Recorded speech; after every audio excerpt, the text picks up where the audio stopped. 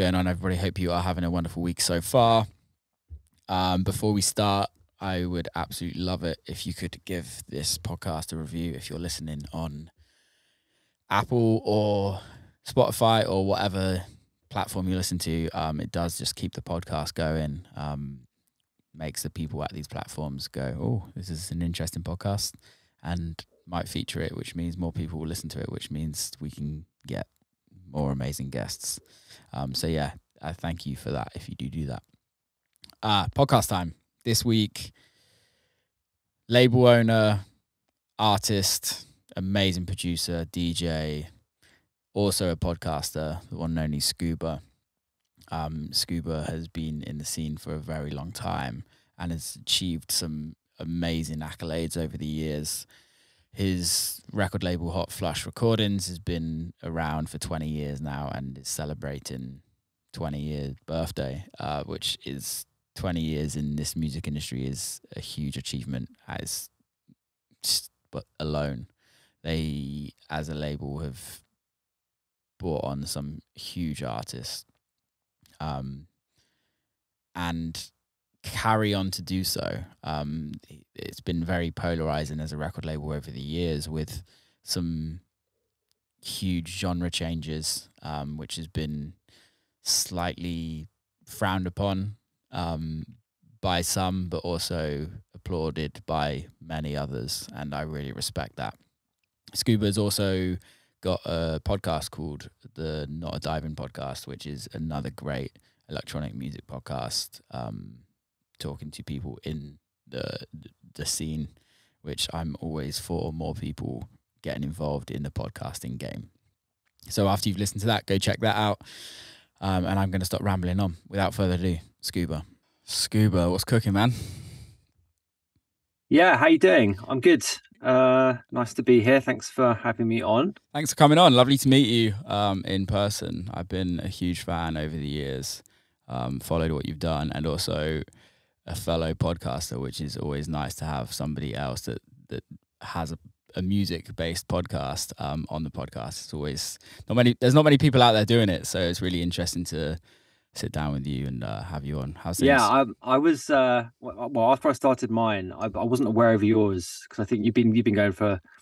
I, I don't know. I think you're probably a year ahead of me or something. Mm. Uh, but I wasn't aware of yours. And then when I discovered yours, I was like, "Fuck!" Damn. I thought I was the only one doing it every week, but uh, yeah, I wasn't. I'm not at all. So, yeah, um, let's. uh Well, there's no beef, obviously. So no, I think this is the thing. Is like the the the, the the interesting thing about this music industry, right? And I don't. And tell me if you think it's completely wrong, but a lot of people, when they're insecure about what they're doing, doesn't like it when other people do something that they're also doing and thinks that they're like they're the first people that should have done it so nobody else can do it. Whereas in this situation like when there's multiple people doing podcasts for me it's like it's great because it means that more people are going to be listening to podcasts for in this industry and there isn't many. There's you have one tiga has one that he does occasionally. There's like a dude called willie joy in america that's been doing one for like four or five years. There's like a few other like more like band orientated ones, but there's nothing really in the electronic music. RA do one obviously, but RA is a little bit different. Um, but it's it's just it's nice to get multiple people doing it in the industry. I think it actually brings it to a wider audience. Yeah, um, I think people have that kind of thing where, oh, like that person that producer's like biting my style or yeah. whatever. Yeah. You know, which is, which is, as you say, probably a more a sign of insecurity than anything else. Mm. And, um, but with, yeah, like you say, with podcasting, it's kind of like an ecosystem, isn't it? Really? If you look at how, for example, like comedy podcasts work, yeah. like it's very much of a kind of self reinforcing thing. So people make appearances on each other's and like it, it just, it's sort of, uh, it's it becomes greater than the sum of it of some of its parts, right?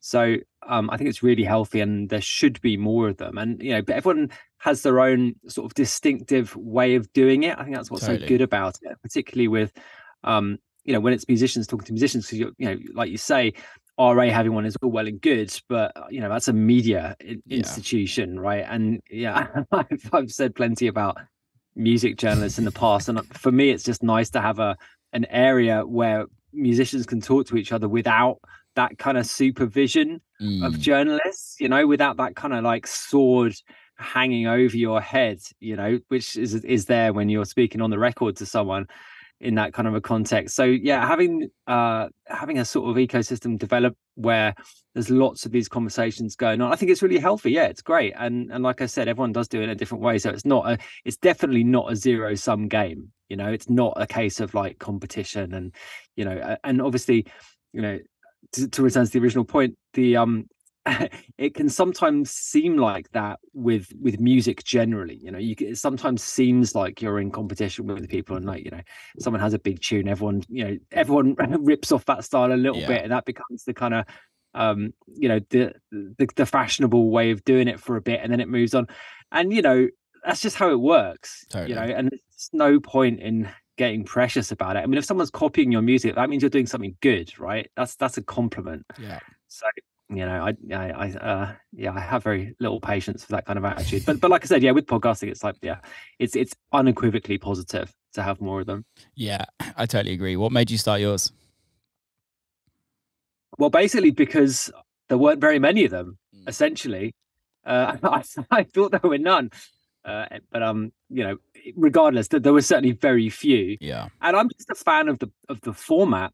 You know, I just like listening to long conversations. You know, with people who are sort of like minded, but are you know not like um carrying the baggage of like I said when you when you're formally interviewed by a journalist like that that's a very specific dynamic you know between those two people and I just think that when you know people who are don't well whe- whereas when it's a genuinely level playing field i guess is how i'd put it it's just it just uh yields something a bit more interesting i think and there just isn't that much of it uh and i felt let's give it a crack you Mm. know i mean i just i'm an avid consumer of of podcasts generally and i just really like um the whole the whole thing you know? And just and to, to, to have that to be brought to electronic music kind of more the more underground side of electronic music i just think it's it's a you know it's a positive you know and i wanted to contribute to it and you know it's been fun doing it i mean it's it's, it's a lot of work doing it every week but you know it is it is uh, rewarding Yeah, it is definitely a lot of work. Do you do like a bunch at a time or do you just do on a weekly basis like when you when you record? i mean it varies i'm actually doing three this week which Yeah. is which is a lot um and i'm i'm actually doing one which is uh with um with someone who's written a book and we're talking about her book so i've got to read the book like tomorrow i've started it and i haven't fin- i definitely haven't finished it so uh normally i mean i don't know how much research you do for yours but normally i'll spend like i don't know a couple of hours max Yeah. you know read, reading old interviews and that sort of thing Mm. and occasionally when, when it's someone you know well it's a little bit different but you know fairly often it's someone who i know of and maybe have spoken to you know a couple of times or whatever Yeah. but certainly know them inside out. So i find like yeah just just doing a little bit of uh, reading around you know what they've said in the past and what the kind of interesting things might be that they've said and what you know what the uh, interesting topics might be to dig into. So yeah I'll, I'll do that max. But like yeah i tend to do uh i tend to do one a week in answer to your original question. Yeah. this week is a an exception. Um and i don't know i mean i find i mean i have had weeks like this week before but actually what i find is that if there's a kind of regular sort of if i do do them regularly one a week i'll just kind of get into the swing of it i find if Mm. i have a break from it like getting back into it it's like not djing for a while you know the first the first setback's a bit like well the first hour anyway it's a bit like oh okay Yeah. um so i think i mean that's my preference for doing it but um you know scheduling uh dictates it to a certain extent It's a nightmare. Um, Can be. it can be no, absolutely right how about you how, how do you find it generally Um like I, I it's I've been doing it for three three years now. Um, I think you'll be like the hundred and sixty third episode. So it's like taking me a long time to kind of get into the swing of things. When I first started out, it was like literally just like winging it every week and just being like, damn, I can't get I need somebody on the podcast. So I just call a mate up who I just could get last minute to, to get on and and talk to them. Um, but now it's like way more planned out, and I tried. I do like recording days, so like today I do. I, yesterday I did two. Today I do two, and then it kind of gives me my month of for the for May complete. So and then I will then send it to my editor and then uh, edit it out. So it's like I'm I'm just doing the, the conversating now, um, which is so much nicer um, rather than having to yeah. do all the editing as on top of that. It's been we only just took an editor on, and it's it's an absolute game changer for me. Um, but I think for me, I don't really do much research at all. Like I I just kind of go in not actually wanting to know much about them and trying to find more about them on the podcast. Um, I think that's where our our shows differ.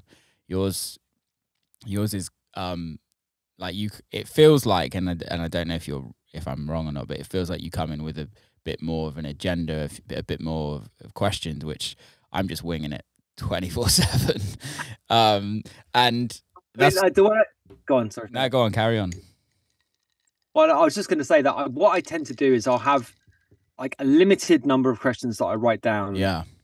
Start with like maybe four or five max. Mm. Like I'll have, I'll usually have like a first question, and then I'll have like if there's a certain amount of topics that I want to cover, I'll maybe have one question for each topic, but then I don't necessarily answer them all. But I, I, I, I do sort of like have a vague structure of the yeah. conversation in advance um i just i've just found that's the easiest way of doing it but i mean you know there, there certainly have been ones though where i've gone in with no notes at all and i mean sometimes those are the best ones actually. Like there isn't i don't think it's a right or wrong way of doing it really. I mean there are there are you know if there are certain topics you want to discuss I think what I certainly find that it's it's useful to you know think about them in advance, and then when you think about them, then you you oh, do have questions that naturally come into your head. So I mean, not writing those down can be useful, but yeah, I mean, you know, it swings around about, doesn't it? Really, I mean, particularly if if if you know the person quite well, then it, it's obviously going to flow a, a, little bit more uh, yeah. naturally. Um, but actually, I mean, having said that, sometimes I mean, I've done I've done episodes with people who I've known, known who I know really well, like good friends, mm. and and I've in the content in the in the course of having that kind of like a two hour conversation, I find out things about people. Yeah, yeah, totally. That's I mean that's the beauty of doing it. Really, it's like you know you, you when when do you sit down for someone for two hours and yeah. just uh, just chat, you know, and have to be chatting all the time, right? You mm-hmm. know, because if it's if you sit next to someone on a plane or whatever, maybe you'll chat for like half an hour of that two hour plane journey. But actually having to keep constant chat yeah. going, especially when you're the host, like the pro- yeah, the, the pressure's on to like you know, keep the energy up.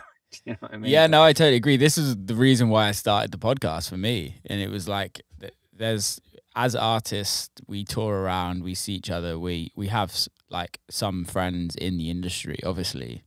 Um, but when do we get the chance to actually sit down and like have a long form conversation with no distractions? Like no phones are on nothing. Like it's literally just you and i. And and i think it's it can create really interesting conversations but also on top of that it allows the listener to be in that.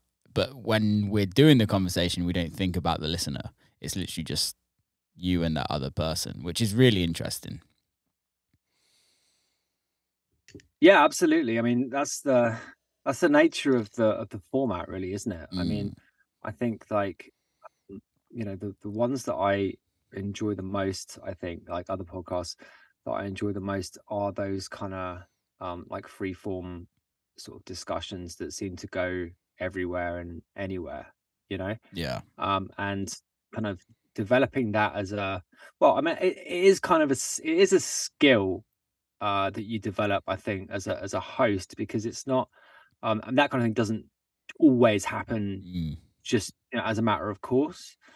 Um, I think like there is this kind of knowing like where to prod someone and like you know where to kind of jump in and yeah. like you know sort of like which paths to go down you know which it's kind of on you as the host to kind of um make those calls in uh certain instances and that can really add a lot to it but um, you know, I I also think that like you know where, where, when it is a genuine conversation rather than an interview, that's when you get the best episodes. Yeah, know, where, when it's back and forth instead of just and and I think like you know you know, going back to the RA one, um, RA have had people on. There's one, there's one in particular who I won't mention by name, who I was trying to persuade to come on mine, and they went on RA instead. And it's the kind of he's the kind of guy who'll only do one kind of thing, Yeah. like every I don't know, like five years.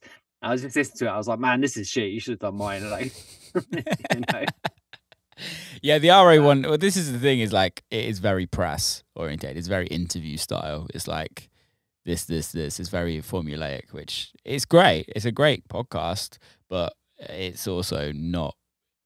You're not getting the character of the actual artist through. That's what how it feels to me. Mhm. Yeah. Are you Um, anti-press? Let me. I'm just gonna have to open my door because I'm Do you got think, quite a bad connection here. Hang on a sec. Do you think?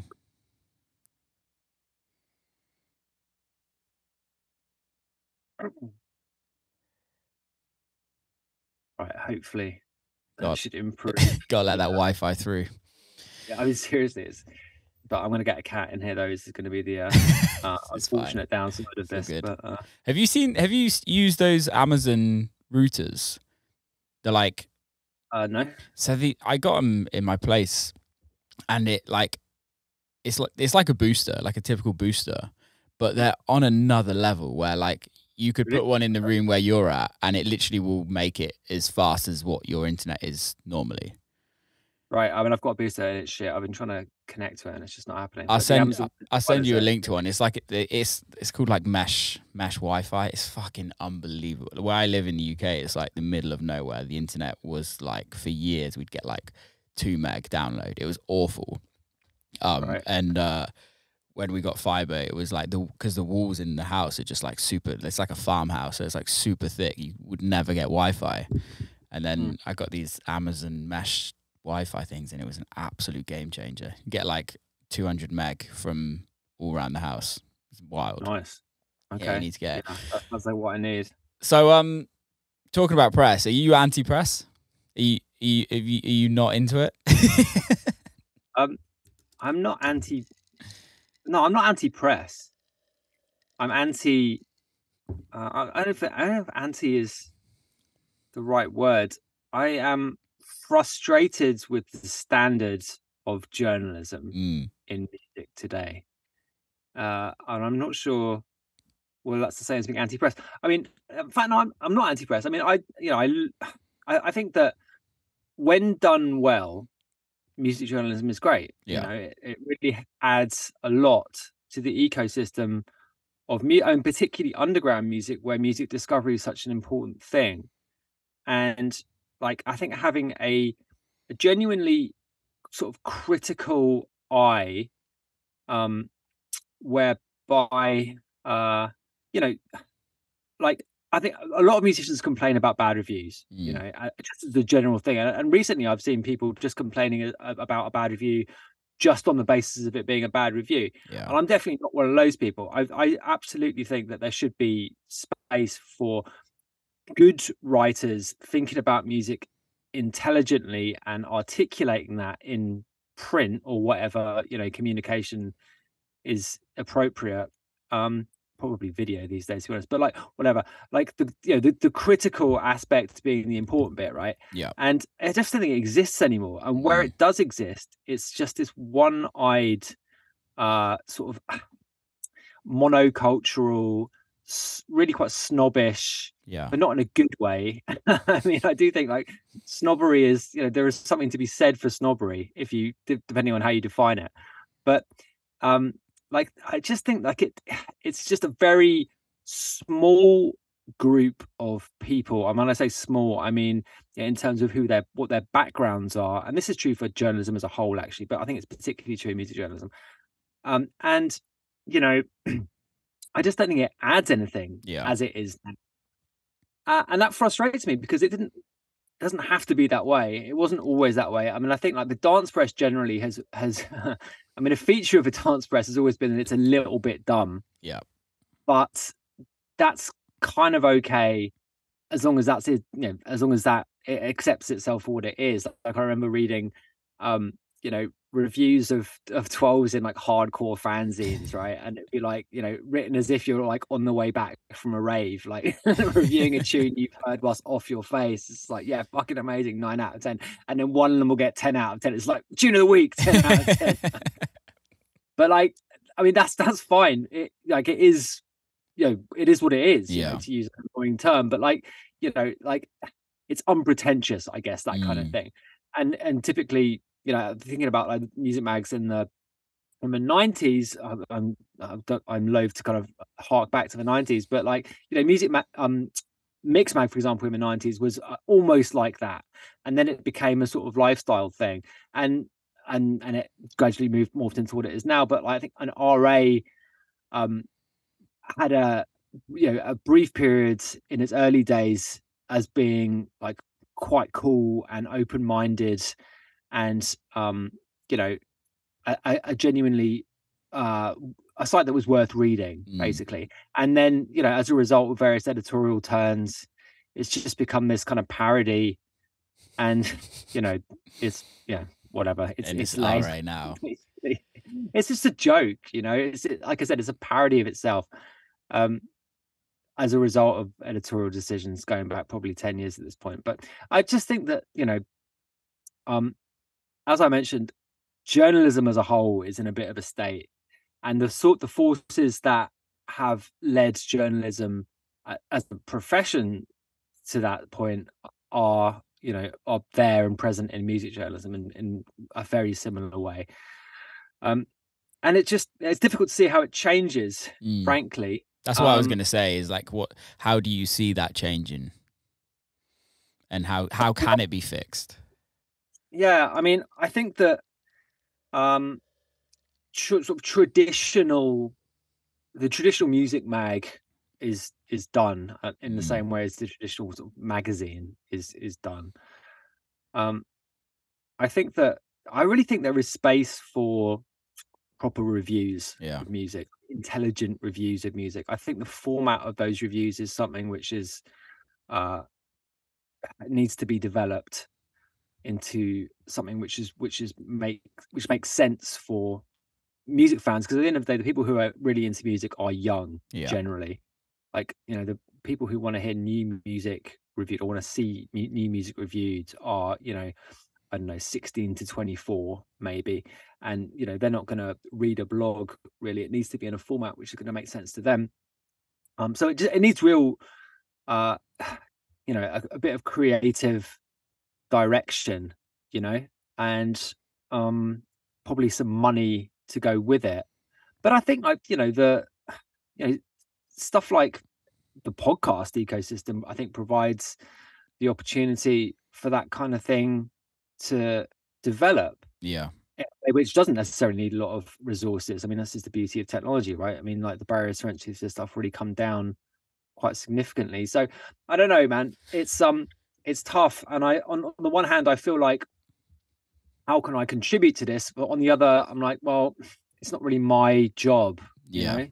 I, I guess the question from me to you though is like, obviously you're an artist and a record label owner and a podcaster, and it's like, do we need it anymore? Do we need reviews? Do we need that press eh, or the the classic press that we all think or that we all know of from growing up with when we would go buy a magazine and or we'd go and what read a blog or something like that. Do, is is that actually necessary nowadays? I don't know if it's necessary, but I think it's it's desirable. Mm. Personally, mm. I think like having tastemakers, you know, lots of different ones, not just like one who's a kind of arbiter of what's cool or whatever. But I think like you know having um essentially what uh the, the music press since the I guess the 70s is when it developed into the kind of into what we look back as uh, look back at now as being the kind of golden age of it like there were it wasn't just public publications it was individual journalists yeah. who had really distinctive voices and you know provided music fans with a kind of context for music and you know you could reliably say you'd follow a journalist and know that you know, if they liked something, then you probably would like it too. I think mm. there's absolutely room for that. Um, I mean, I've you know, I I'm looking at like comparing it to something like movie reviews. Yeah, yeah. Right.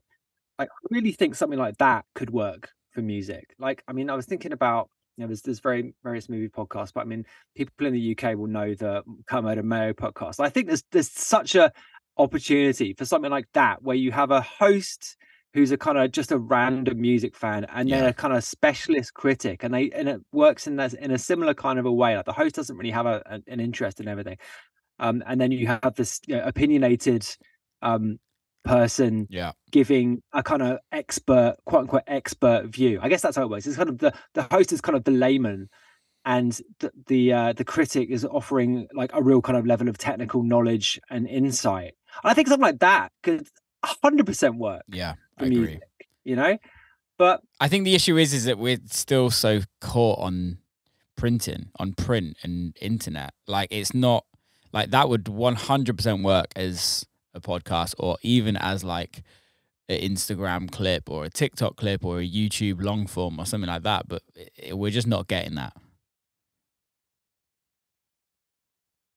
Sorry you broke up there i didn't get to the end of that I, I, I meant I said that like it feels like it's more so a platform thing. It's like we're so used to to blogs, websites, magazines, and it feels like the whole press of the music industry hasn't, uh, in that sense, hasn't kind of moved over to that YouTube podcast, Discord, um, social media Yeah, I kind mean, of platforms. Absolutely, yeah. I mean, I like you know, look at RA, look at the RA podcast. Yeah. You know, it's just completely unimaginative, and the approaches that these legacy media institutions, which is you know what the likes of Mixmag and DJ Mag and all the rest of it, um, you know, they haven't adapted. Yeah. I would argue, I agree. and you know, their attempts at adaptation, like doing podcasts, are just inadequate Mm. you know and i really think there's there's room to be creative with that sort of thing and there's room to be um you know to add real value Mm. um i mean it doesn't necessarily have to be from one of those pre-existing brands or pre-existing platforms i mean you know i think that there is a real uh gap in the market i would say for kind of good intelligent criticism of music which is you know which adds something to people trying to kind of discover new stuff because the problem is now i mean the, the backdrop to all this is just the sheer volume of music which gets released is just you know it's daunting Yeah. frankly it's mind-blowing how much shit there is out there and most of it is shit but like quite a lot of it is not you know quite a lot of it is good so you know having a a number of trusted sources an ecosystem of trusted sources who are going to you know give you uh, like a genuine um crit- like a genuine critique coming from a position of expertise i think it would be it'd be great It'd be, i wish I that stuff existed man i would listen to that shit Yeah, I think So- I think that's the thing is a good conversation about music. Like is really important. I guess the only real platforms we kind of we can look up to right now, which is obviously radio um in the UK. Um but also specialist radio is is not got the power as what it used to. Like an essential new tune back in the day was the biggest thing that happened to you as an artist and could change your life from one record to another. Um, whereas it doesn't feel like it has the power as much. And now Spotify and Apple with their playlisting, it's kind of like it doesn't feel like this is a like Apple is a slightly different. Spotify just feels it's slightly not taste as tasteful as it could be. Um, that's way of putting it i mean i mean it has been argued on my podcast by me and but also other people independently of me voicing the opinion that streaming basically is radio mhm. like that's the function that it fills now and you know the fragmentation of people's uh, attention has meant that you know has led to the decline as you describe of you know those legacy like Radio One essentially in the UK. Yeah. There isn't really a equivalent No. in in the US. But I mean, that's that's the most. Um, it's historically the most important radio station in dance music, I think, globally. Mhm. But you know, the um, just the like plethora of other options has just by definition meant that's gone down. But but you know, to return to the original point, um, streaming fills that function for people, and and specifically playlists within streaming platforms do that job, and a lot of the music discovery function of radio and and press arguably um has been sort of farmed out to those editorial lists and also increasingly uh, algorithmic Yeah. playlists too. But i mean like the um the power of the editor i think is not really fully acknowledged. But actually i mean and having said that like my understanding is that plat- streaming platforms are moving away from editorial and, and further towards algor- algorithmic playlists um so i don't know what that's going to eventually look like but but regardless like i think like the like i said the function of of streaming is essentially radio Yeah. but i mean that's just i think that's just where we are and i think you know we're not going back i don't think I think the thing the thing that I mostly have an issue with is the fact that the editors not and this is it may sound disrespectful to the editors but it's like when you used to get the Mixmag reviews right you would get uh you'd get somebody that reviews dubstep drum and bass techno like somebody separate for each one Mhm. whereas a lot of these a lot of these editors are all just doing all dance music, all electronic music. And and that then just purely comes down to personal taste or the relationships of the editor and the artist, which doesn't bring new artists through. It doesn't bring interest in music through. It's purely down to one taste. Um, and I think that just completely fucks the whole industry because it's not about pushing interest in music forward. It's about what's popping off right now on the algorithms and what do I like as a as a person or who's my mate. Sure. I mean, one thing we've talked about on my show a fair bit recently has been record shops and Mhm. the decline of record shops and the function they've historically filled in the in the scene in terms of people discovering new music and the roles of people that work in record shops in that discovery right so you know previously and this is definitely not true now but um you know previously having someone on side. Having a member of staff in a key record shop who was a really who was really on side with your label or with you generally that could be so useful so helpful Yeah. you know is you know, people you know, particularly the bigger shops the more influential shops you know these huge tastemaker djs would come in you know and you've got the, the, the key dude is you know recommending your stuff. And like like that was a a big part of it which is gone now basically Mhm. entirely gone because i mean to the extent that the vinyl market still exists it's largely uh, driven by online sales and you know there's stuff like Boomkat which still exists and they do have their they have their reviews thing which um you know people have their own views on but you know the uh the sort of um the tradition of going into a shop and getting given uh, a, a stack of records by a um probably quite snooty opinionated member of staff They were the worst, man. They were the worst. Well, I'm I mean, sorry. absolutely agree with you but they still filled an important function yeah. right like they were they were important people for better or for worse sometimes for worse but yeah you know that, that stuff is gone and you know i think you know i think the a wider question is you know dance music is a very nostalgic scene generally like we look back you know and we largely in the music in the uh, certainly over the last 10 years try to recreate the music of the past and try to recreate vibes of the past Yeah. but actually music has moved on largely and the scene has moved on in many respects and i think there's a there's a general struggling to come to terms with that. You know, there's so much denial with people like you know, like the uh, the kind of hysteria over you know streaming payback rates, and you know the when Bandcamp got bought out by Epic, the kind of hand wringing yeah that accompanied that, and people are just terrified of change. Yeah. Basically, on the one hand, um, and largely the music and the the raves reflect that. But but it changes here. It's coming, you know, and it's it's only going to get worse. You know, I think I, I, an example of this actually, I like DJ Pierre was um he posted on Instagram yesterday something about AI and was just like fucking hell this is bad. And it does look bad don't get me wrong like the the implications potential implications for music um for, for making music anyway that come from AI pretty scary. Yeah. but like it was just it was such a stereotypical dance music reaction just like fuck this is gonna destroy everything you know?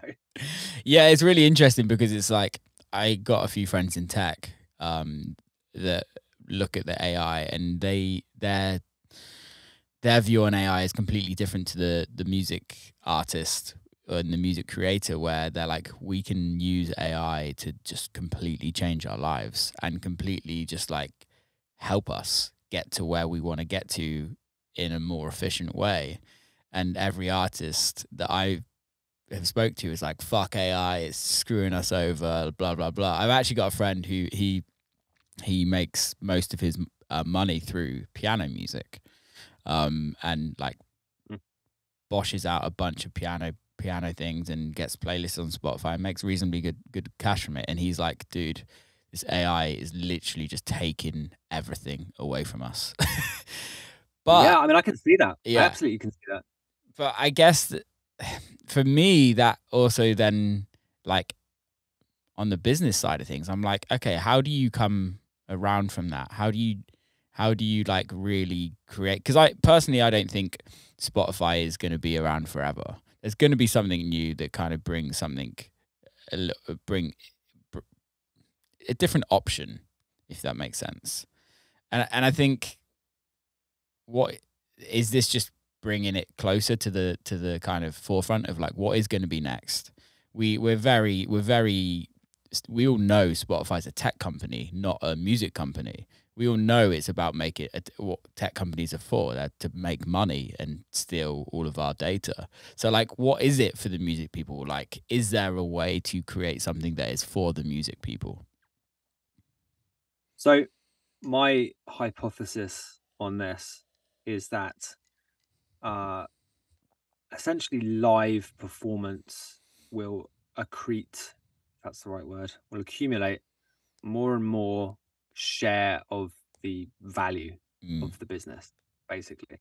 So, uh, the performance on stage, in person, um, which gets you the kind of direct link with the uh, fan. Let's use that word. Um, that's just going to become more and more valuable, and the relative value of recorded music will just decline and decline, uh, kind of almost like in in sync with that yeah. inversely proportional to that. Um, and I think that uh, particularly dance music. I mean, like you know that that example of, of piano music absolutely um, chimes. I mean, stuff which is basically just uh, stuff which is highly functional. Actually, the way it's in terms of the way it's used. Yeah. You know, the words the way people use that. Um, and but dance music is absolutely in the firing line there, right? I mean, a- your average house tune could hundred percent be made by an algorithm Yeah. now, no doubt, hundred percent. Um, but you couldn't do the same thing with the DJ set, right? And you know, people want stars. That's that's the bottom line. That's what resonates with people. I mean, Totally. they wouldn't necessarily think about it in quite those terms, but you know, who is you know the, the most successful new DJs uh, of the past few years? I don't think it's a coincidence in a period where the music's basically gone nowhere creatively. Like the the most successful new DJs look fantastic. Yeah. That's that's what they're bringing to the table. Like they look great, you know, and that's what people are resonating with Mm. now, right? Uh, it's a kind of aspirational thing, and don't get me wrong, that's always been part of music, right? Image has always been a huge part of music, of course. So it's nothing necessarily new there, but I think it's increasingly the most important thing, and it will. Uh, I mean, there there are always trends, but I think that kind of direct personal connection with that is associated with performance and experience of that performance that's the stuff which is going to be worth money. If you're talking about the business and like where's the money in the business it's going to be that i think increasingly that. I mean it always that that has that's been a trend which has already already been kind of rolling out over the last 20 years uh, but i think it's going to accelerate. And i think the ability of um, music which is quite quite good enough which is i mean that's the term i've used a fair bit like I, I think like most of the, uh, the the advances in music tech over the last 20 years have basically haven't yielded like new sounds. They've just made it easier to make existing sounds. And that's that's made that's what's behind essentially this avalanche of music which is good enough to play in a club. Um so ai is just going to accelerate that yeah. again. And what is i would say likely is that you know we're not going to have you know uh, big leaps forward in music style and music kind of genres and inventiveness. But what you'll have is like, yeah, huge shows, amazing production, like people having an amazing time listening to this stuff, and that's fine. But that's what it will be, and that's where the money will be. That's that's my uh, that's my large scale prediction. No, I, um, I I don't disagree. I guess the one thing that's eh, be interesting for you as a label owner as well as an artist, but when you go from the vinyl days to the streaming days.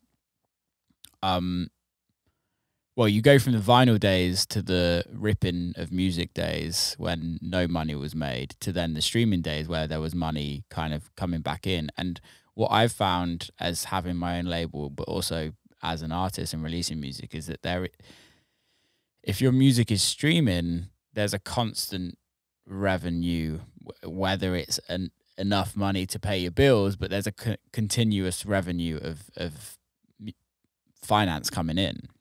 Mm. Whereas in the vinyl days, you press 300 vinyl and it was that was it. There was no more revenue coming in on that set on sales on on music. How do you find that as like a label owner? Has it changed your finances, your revenue? Is it changed how you guys release music or or not?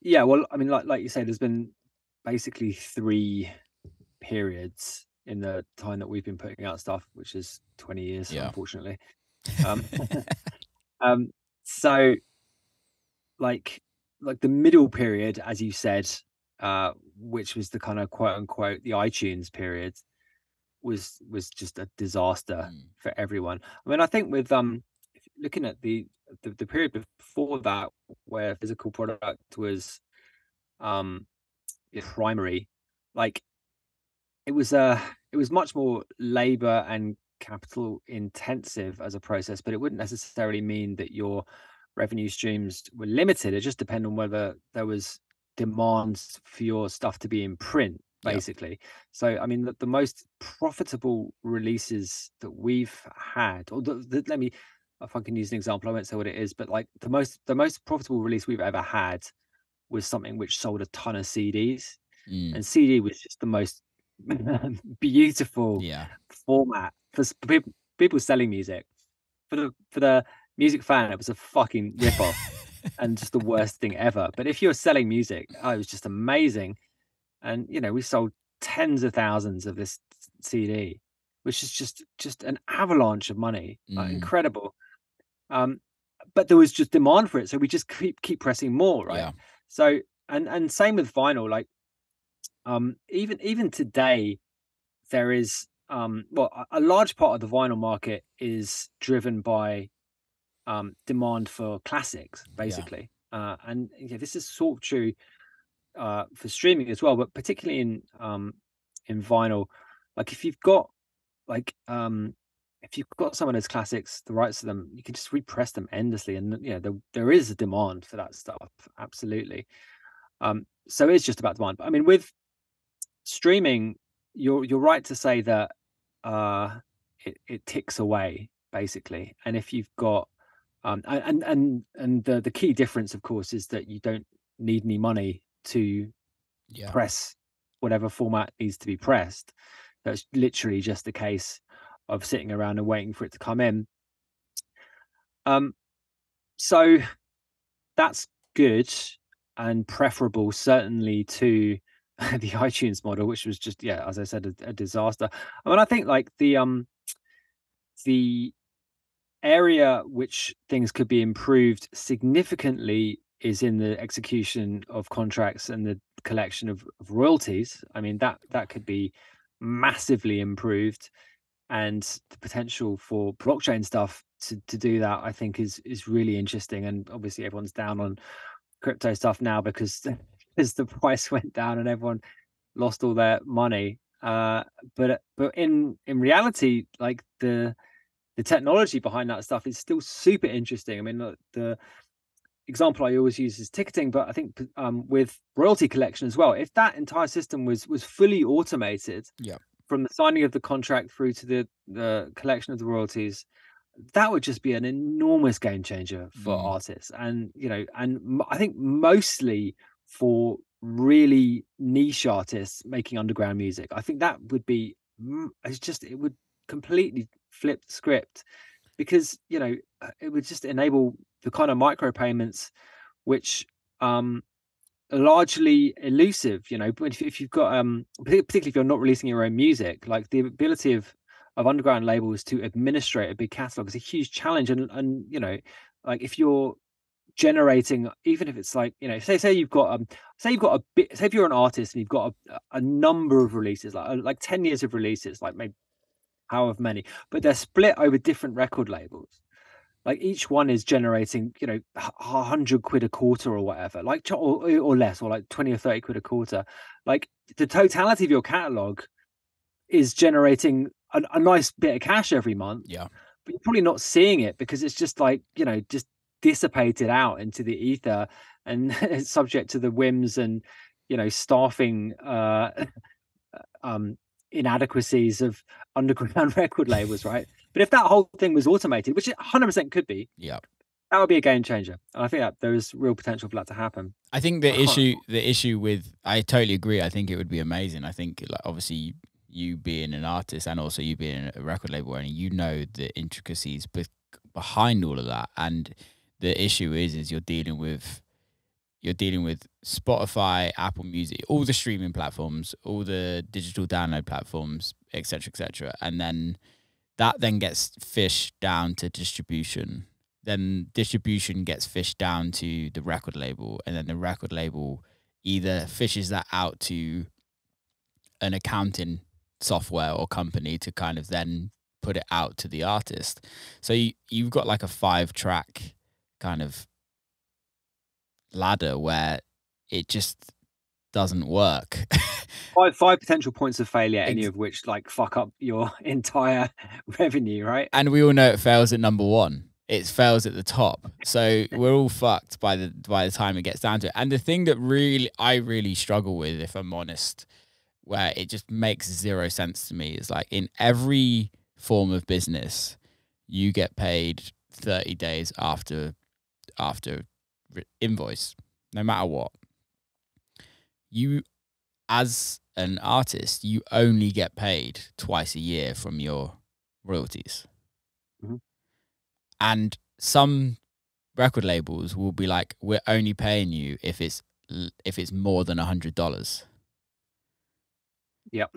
So sometimes you might not even get paid for your records. Yeah.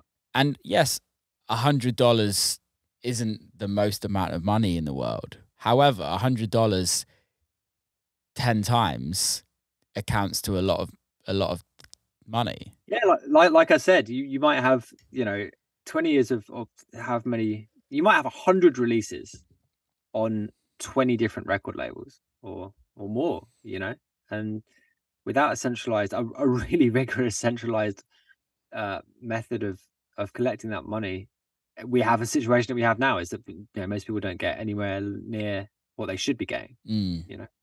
yeah. How do you fix that though? Because I because I think the the whole blockchain thing I love the idea of, but that means that you have to then get everybody on a blockchain. Oh, absolutely, yeah. It require it would require like total root and branch reform, like the abolition of Mm. all the legacy royalty collection companies around the world, which is ah, so overdue. Yeah. By the way, like it, they're just a fucking joke.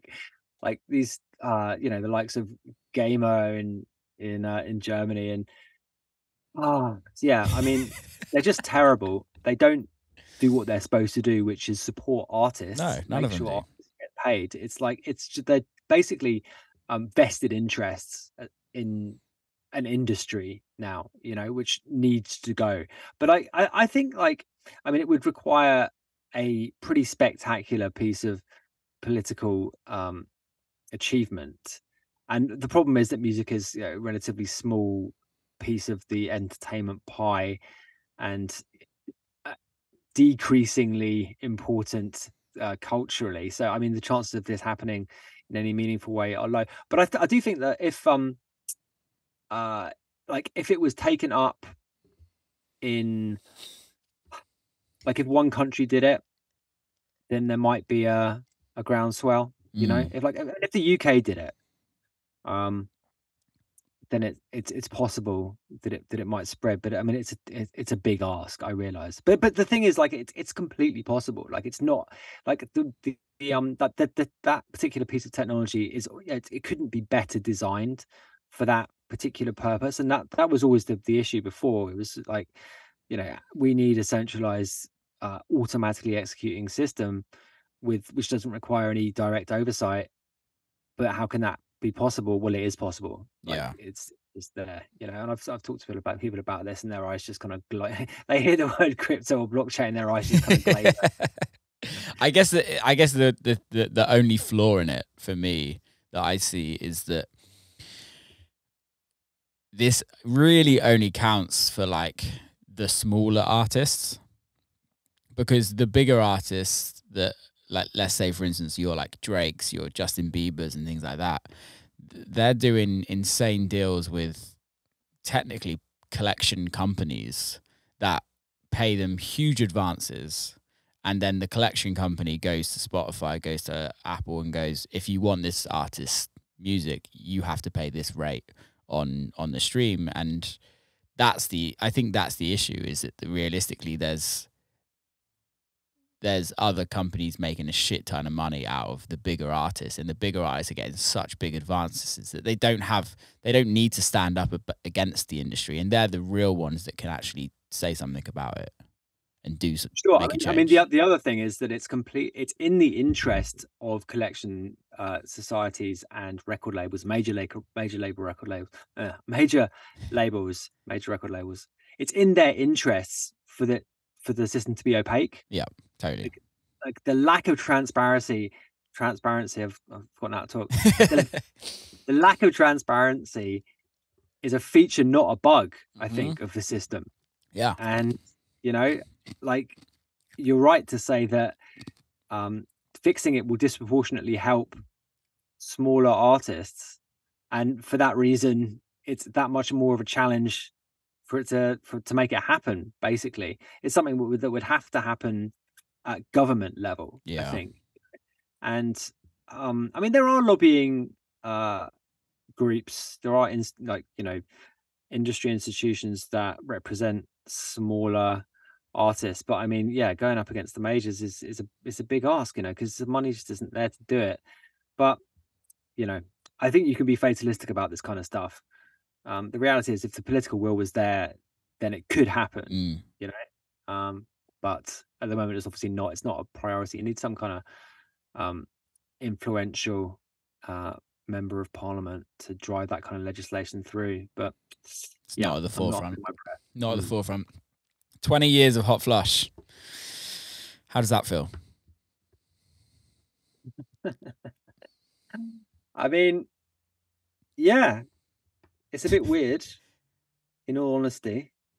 Um, it's yeah. I mean, my entire adult life really been Yeah. doing it, and I was you know look, looking through the catalog. It was it struck me that you know this is my life's work, and it's a fucking strange like sensation to just realize that in something which you hadn't really been thinking about in those terms at all. Yeah. Um, but I mean, it's it's nice to be in this position, which is to say, it's nice to have done something for 20 years, which is worth celebrating. Yeah. You know, I certainly don't think that 20 years ago I would would have expected it to be where it is now. You know, mm. I don't know. I mean, yeah, I mean, I have like it's been like the label has been such a um I guess it's been it's divided opinion so much over the years, and to for it to have been essentially all me, it's kind of difficult to have um, avoided the sense, you know, the, the, kind of sense that I've divided opinion, even if it's not necessarily the case. Um, quite to that extent. I don't know. I mean, what do you mean divided opinions? Well, I mean, well, I've pissed so many people off in my A and R decisions. You know, yeah. so so many angry dubsteppers, so many angry uh techno people when I've released house music. So many, you know, just like why are you doing this? You know, is yeah. is a question that I've been asked so many times. And I don't know, I I just um I think it's basically the function of having no real managerial oversight over the music direction like no like board of directors like the position like you know the guy the catalog is is enough to keep it sort of ticking over as a going concern so there's no real pressure financially to do anything other than break even on a release. And you know that just yields um a fairly haphazard scattergun approach yeah. if you have a music taste like mine you know? Like that's the problem. I'm really quite wide ranging in in um in my interests mm. musically.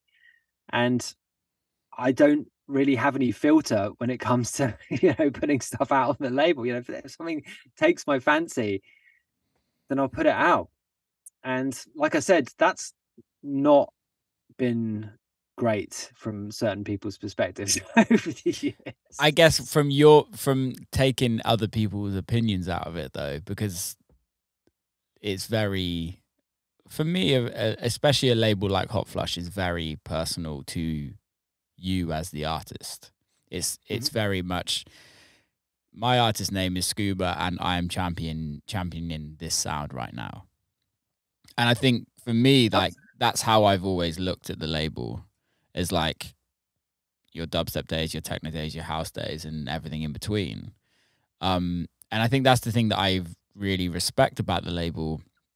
And this isn't me blowing smoke up your ass, but it's like I think there's a lot of labels out there that just stick to one sound. And yes, maybe on a business side of things, it works. I was gonna say that's a smart move, right? maybe, that maybe is it is. smart move. But yeah, like, hundred percent is. Yeah. I say like, for instance, like I would say this to him, so I, this isn't me talking shit, but like Dirty Bird, for example. Mm. Dirty Bird in when they first kind of launched and the mid two thousands for me was like one of the strongest record labels out there that was just pushing music that was so just like nobody had ever heard of but mm-hmm. also it was so like the music every record would work on a dance floor everything was just perfect in that record label and then i look at dirty bird now and it's very formulaic it's very um not what it was and and I think for me that's the issue with certain record labels when they're artist driven is that they just get very samey, and it's not about kind of evolving as an artist or evolving as a, as a label. It's it's more so about okay, this is a business, and let's just keep it as a business and do what it is. But I think eventually it kind of falls out of his ass. How have you found it?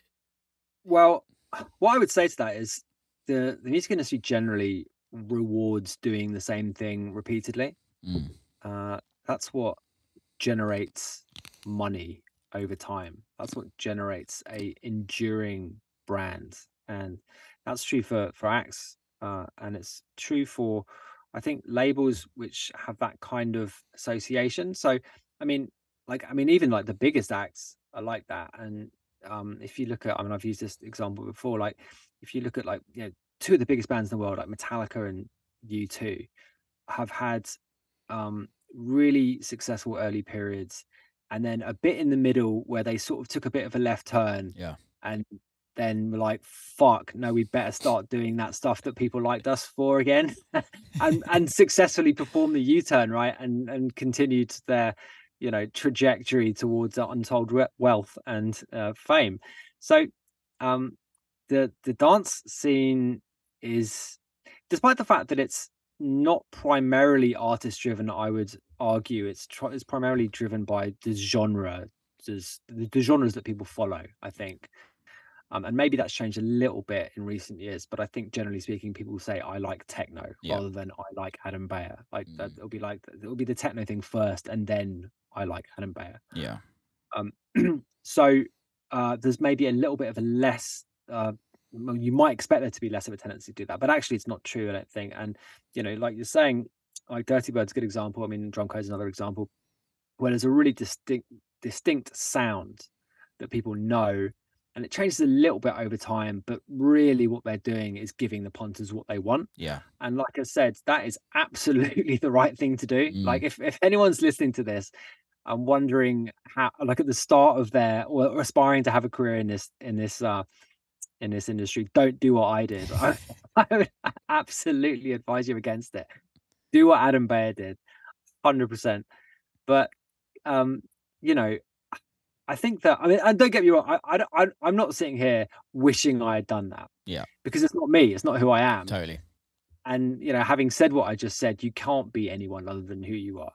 So, um, I mean, those are two contradictory pieces of advice, but I mean, you know, in my own instance, like I, I just get, um, I, well, I was asked this question the other day actually, and the, uh, they put it in in they put it in the following terms like do you get bored easily? And that was uh, something that i used to say in interviews quite a lot to to explain my uh, haphazard approach to musical stars and, and what we cover on the label. And I, and I don't think that's quite right. I think it's more to do with um like expressing something musically both myself in the studio and then and releasing stuff it tends to be like whatever i'm playing in my dj set which is you know uh, a reflection of what I'm making and what I do generally. so we'll have a few years, a couple of years, or two or three years where I'm um, into whatever style, and that's what we'll put out. That's what I'll make. And sometimes there's really abrupt stylistic changes. you know, sometimes it's there've been like more kind of smooth shifts, but like you know, around 2011, 12, we just stopped doing quite unquote deep dubstep and started doing house. I mean, yeah. it's just insanity, really, when you think about it. It's commercial suicide. Um, and and particularly because like what was happening at that particular time, like dubstep was the hugest thing yeah. in the fucking world, right? So terrible idea. But I mean, I don't know. I mean, it's just like like I said, it's just who I am, and I can't change it. But and and I think like really, it's like it, the fact that I'm still here doing it and the fact that Hot Flush is still here is just down to persistence. Mm. It's just down to having, you know, a level of success which is sufficient without ever being like, you know, huge, but sufficient to keep it going. And then just, you know, plowing on, you know, and being, I hate the word authentic, but, you know, just being who you are, you know, being just me being who I am mm. and expressing that through the music that I make and the music that I release and enough people come along on the ride for it still to be a going concern really you know? I mean it's difficult not to be slightly I, I, don't know i mean i know i sound very cynical when i talk about this stuff and i don't you know i'm it's slightly affected but you know it's um it's well, the experience of um people's reactions to it has uh made me like this basically. But, but but it's completely understandable don't get me wrong i do understand why you know when you like something, and I've I have experiences this as well, like you know, the bands or whatever who I love, and then they make an album that you don't like, which is a bit totally. like a, of a different approach. Yeah. Like, fuck, like this isn't. Yeah. I'm, I'm, not here for this. Yeah. Right? So I totally understand it, but yeah, it it is. I guess the thing is, is that like what you're saying is you go from releasing dubstep to house music or to techno. That is a mm-hmm. huge turnaround. That's like chalk it's and completely cheese. different aesthetic, right? It's that's the thing, and and it was largely, it was largely sort of fired by my desire to not play at those parties anymore because Okay. that, that's the difference, right? Why that- though? What what were they? What was going on at those parties that that was like I do not want to be part of this? rewinds, rewinds. You know, it's just this kind of arms race for the rewind. yeah, Just like, fuck, man. Like I just want to play for four hours and not be bothered by, you know, not have that kind of pressure every three minutes to deliver some enormous drop. And um that was just where I was with it, you know. And I just wanted to. was that always a- there though? Sorry to butt in, but was that always there, or was that when the more Americanized dubstep kind of started to take over? And because I I I'll be honest, dubs uh, dubstep was never for me. I grew up in Bristol, so dubstep was always around me, but I was the person that would always refuse to listen to it at the time because everyone else was listening to it. So it was never like on my radar. I never really went to many dubstep kind of parties. Well, I mean, the early dubstep scene was genuinely a thing of beauty. Yeah. Uh, It was just an amazing sort of little community of people, and it sort of um, it led to it kind of sprouted up similar little things in various places around the world in a way which is kind of quite unique, actually. But unfortunately, uh, we all know what happened with the music, right? and it's uh, it wasn't, you know, I I have sometimes you know blamed the North Americans in a slightly tongue-in-cheek kind of a way, but it's a little bit unfair because you know the kind of the rewind mentality, um, it just comes with big parties, right? Mm. So as soon as you have a big room full of people, and they're most I mean, they're mostly interested in when the next bass drop is going to happen, that that will just you know that that kind of mentality will just develop. I think, Yeah. naturally. So so it wasn't just Skrillex, you know, it wasn't just those guys, although they did kind of turn up the volume quite significantly on that kind of stuff. But you know, I was well out of it by then. I think certainly mentally checked out of it. But I mean, like I said, like the initial, I mean, you know, I was at the, you know, went to the very first forward in 2001. You know, we did our first release in 2003, and you know, the Mary Anne Hobbs show wasn't until 2006. So there was a pretty long Mm. period of standing in a room once a month because forward was once a month back once a month back then with 30 guys and two girls and swapping CDs and it just being the best thing ever. You know, it Yeah. sounds so shit, but it was genuinely the best thing ever. And you can't recreate that, you know, like either you're there or you're not. And it's difficult to keep it going as well. And as soon as it is exposed to loads more people, it's something is immediately lost. And and you know, the watching the process of it become popular was genuinely amazing. Like the DMZ first birthday uh was just a mind-blowing night. I'll never forget it. It was just insane. And it was the culmination of like yeah like I said five years of standing in a room expecting nothing ever to happen. But you know it was always a question of like well what happens next now? And and you know it was probably quite predictable in in reality. Yeah. But you know me moving to berlin was a kind of anticipation of that i suppose. I mean i was i was very much kind of checked out of the whole thing wanted to do something different um and it you know i moved to, moved over in 2007 and we didn't do our pivot to house until 2011 2012 so yeah there was a few years of um trying to plow a furrow in that would make it uh keep the kind of original vibe for want of a better term and make it cool but and and that you know that that period was cool actually there was some really interesting music made that wasn't that kind of rewind chasing bullshit uh but you know everything has its shelf life i guess you know and Agreed.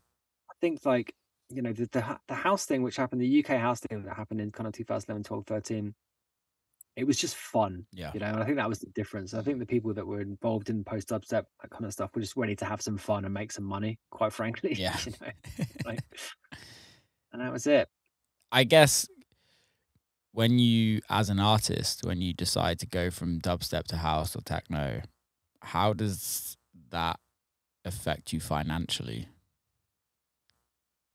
Well, I was living in Berlin and paying 300 euros a month rent. So there was not a massive financial Yeah. pressure to do much. But having said that, um, we had had some pretty successful releases on the label and we had a Mm. good catalog and it was ticking over um like dubstep is um, bass music generally drum and bass included is not well paid comparatively speaking dj wise so um my I, I, would- I this wasn't it wasn't uh, definitely wasn't a primary motivation. I mean i, I kind of said that in a kind of glib kind of a way but it, it it wasn't anything like the forefront of my mind. I mean i'd been able to make a good living at that point for a few years uh from from djing and from selling music and i was sort of aware that you know house djs got paid more but not i mean it wasn't like fuck i need some of that house paper. Yeah. um it was a you know I, I, let's try and do this. It will be fun. I don't have a mortgage or anything like you know i don't have any i don't have a family. You know it was like you know i was i guess 28 or something and it was you know just a, a shot in the dark really without thinking too much about it. I mean that's my whole career has really been a succession of shots in the dark but i mean it, it definitely wasn't something i was thinking too hard about um but then you realize fuck you know there's there is real money to be made Yeah. here which is great. I mean, you know that's fine. That's absolutely fine. I mean people are sniffy about money in music but you know if you have the opportunity if you have the opportunity to get paid proper money to play music which you can genuinely stand behind i think that's that's the problem is where people do stuff which is when it's just for the money you know? Fuck that. But if you can if your artistic vision coincides with getting paid a lot of money then great. Fucking go go Cool, get the go bank. Absolutely Yeah, it's it's a weird concept. It's weird that people are weird about money in the music industry. i mean certain parts of it Yeah. certain parts of it are more than happy for extreme financial success but certainly in, in dance music it's it's a little bit well i think that's what you know going back to what i said about how dance music is is a very much of a backwards looking cons- multi-conservative kind of a scene. Like there is still sort of the concept of of selling out. It's still in people's Totally. minds to an extent. I mean it, it's definitely not what it once was and it, it um manifests in different ways but i think that slight sniff not sniffiness i don't know what the right word is um that kind of the sort of reluctance to embrace that as an aesthetic like wealth i mean in the way it is in hip hop for example you know, Yeah. that's just not there at all and i think that's it's basically because people have that kind of um that they're they're kind of looking back to that 90s period even if it's subconsciously um and it just doesn't fit in with that aesthetic at all you Mm. know i mean even the um even the private jet stuff you know Don't even get me is- started on that. yeah I, I i totally agree um but even that stuff is a little bit it's it's muted you know what i mean it's like i mean obviously there are certain except exceptions to that but like it's not um it's not what it yeah it's not as bad as it could be i think it's so like i said when you compare it to hip hop it's it's nothing right I Yeah. mean, no, no one's like throwing blocks of hundred dollar bills around or anything like that Not yet. Give it time. Give it time.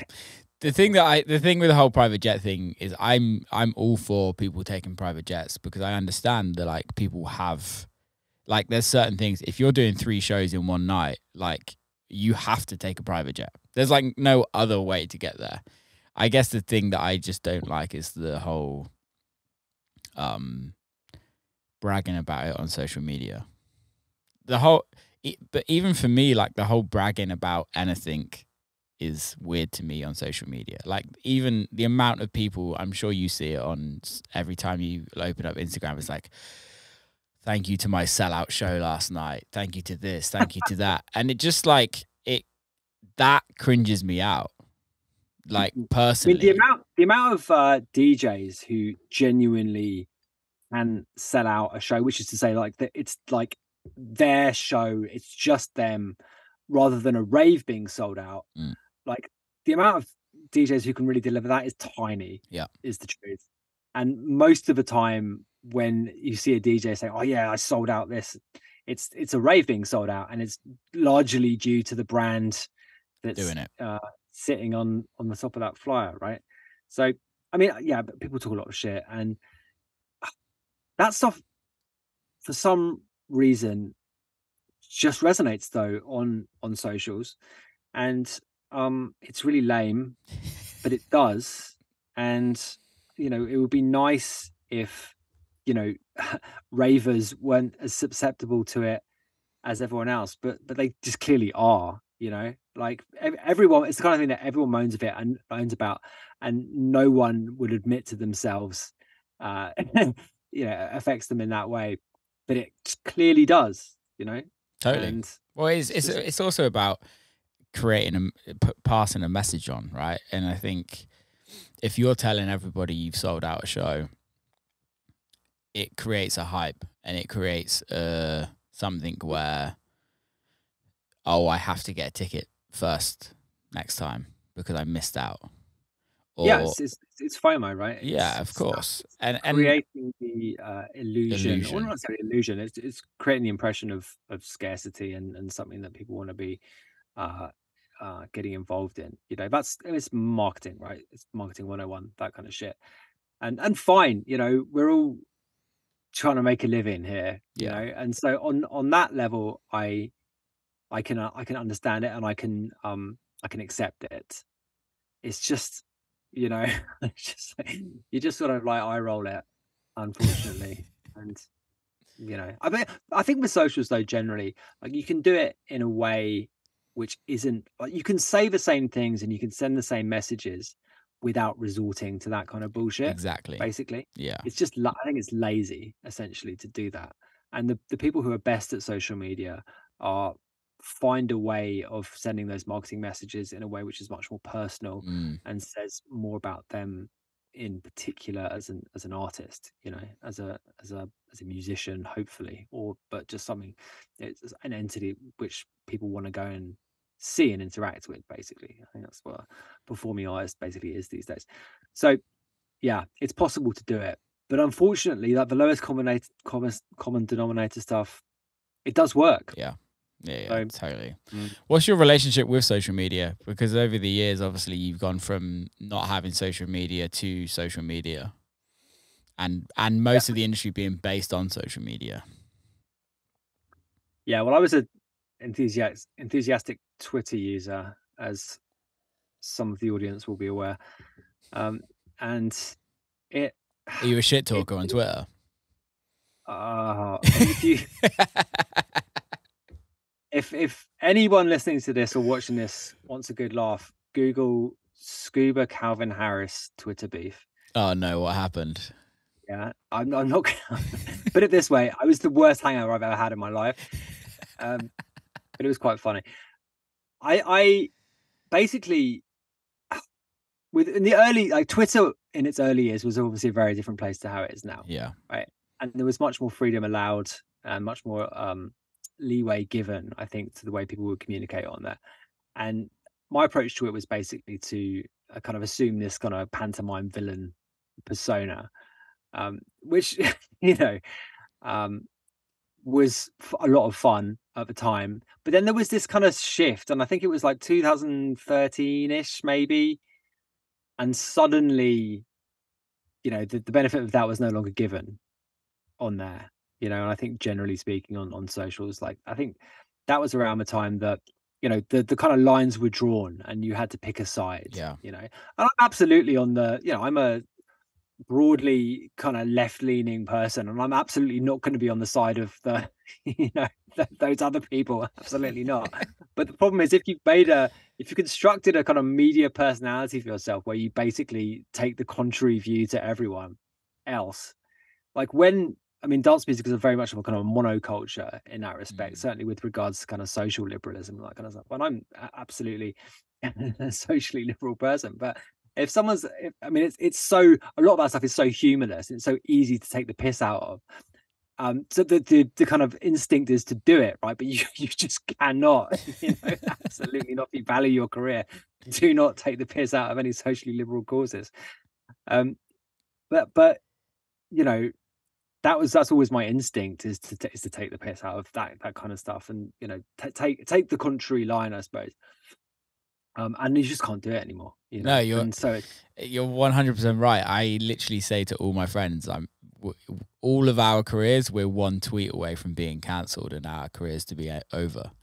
And it's yeah. it's literally like that. And it's like you're you're not necessarily even really allowed your own opinion if you are public fronting in the way. Absolutely not. I mean, there are certain there are certain areas which I won't name, but there are certain areas which you just just don't go anywhere near yeah. them. Like anywhere near them. Gender. It's just not worth it. Sorry, I didn't. I'm not. I'm not, I'm not gonna. I'm not gonna specify in any way. Like it's just not worth it, and it's and, and like that is frustrating, mm. right?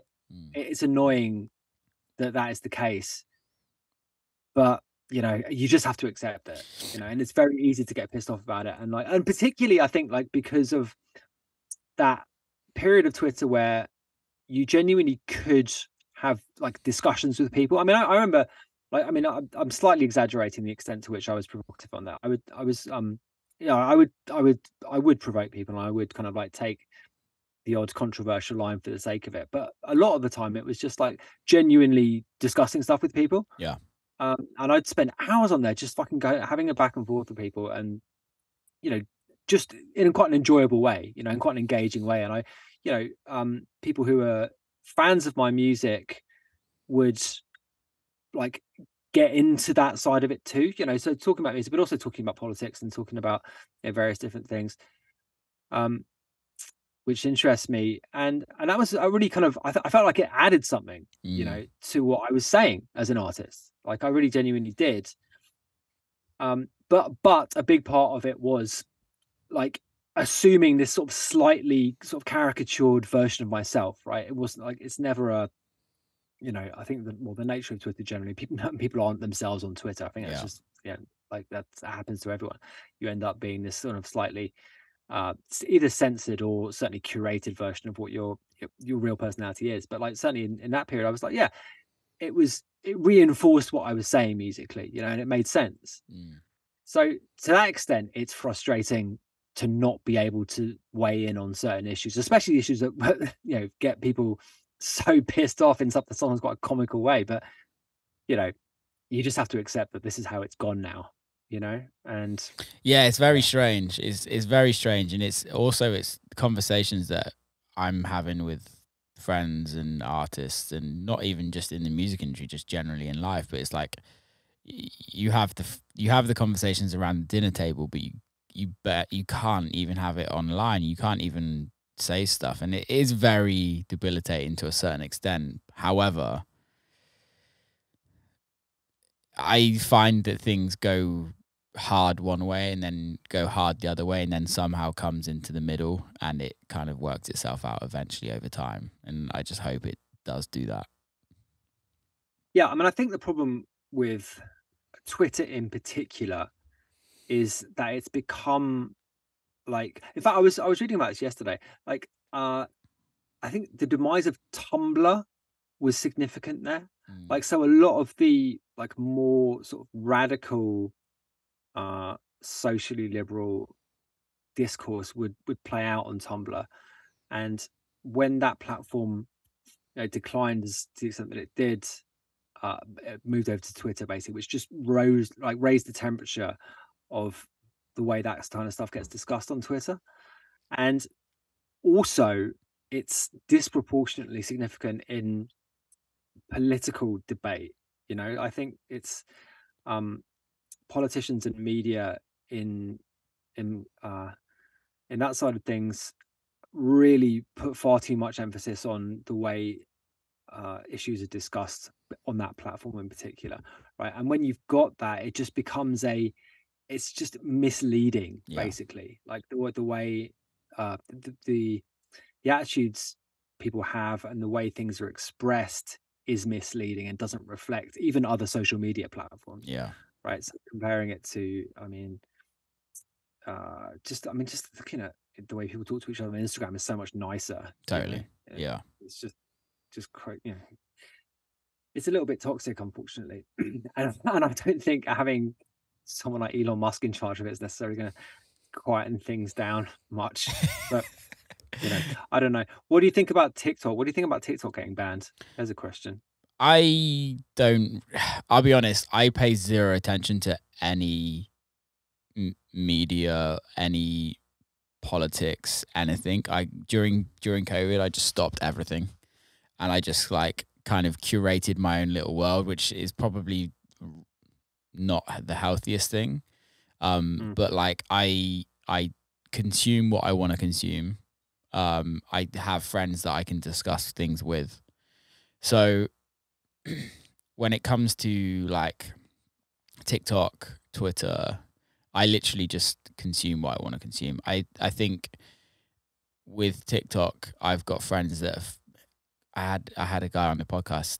Um, I recorded an episode with a guy on the podcast yesterday, and TikTok has completely changed his life to the point where he's he's a chef and he started doing content on TikTok and he's now got 1.5 million followers and is making an absolute fortune from from TikToking and it's allowed him to kind of create other businesses outside of the, the platform um, and put food on his table for his kids and his wife and I think that's fucking amazing. Um, my view on how TikTok is is changing the attention span of the world. I don't think TikTok is the only reason, but I think TikTok is one of the main reasons why people just aren't as interested with with long form um, media. Um, I think it's fucked, and I think the whole data thing that like yeah whatever like I, we give all of our data to everybody anyway on a daily basis and and yeah, but I mean, not to a communist dictatorship. In fairness, I totally agree but I, I I I guess realistically like how how do we know where our data is going in the first place? Like is face is is is is Mark Zuckerberg as bad as no he of course he's not as bad as a communist dictatorship but like we're also in the western world. It's like what are we in the conversation.